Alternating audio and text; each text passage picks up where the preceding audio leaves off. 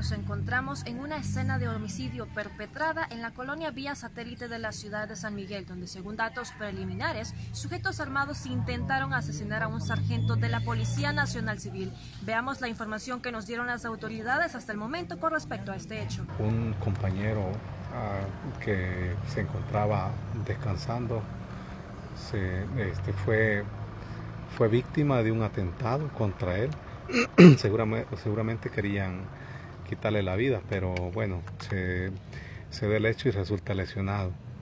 Y al momento él se defiende porque también pues ya se han girado instrucciones que todos todos los miembros este, de, nuestra institución eh, tienen, que estar atentos por cualquier, cualquier situación que se pueda generar. Entonces creo que por, eso, por todo eso él se encontraba, se encontraba armado también y justamente pudo reaccionar lesionando a, la persona agresora que posteriormente aparece fallecido.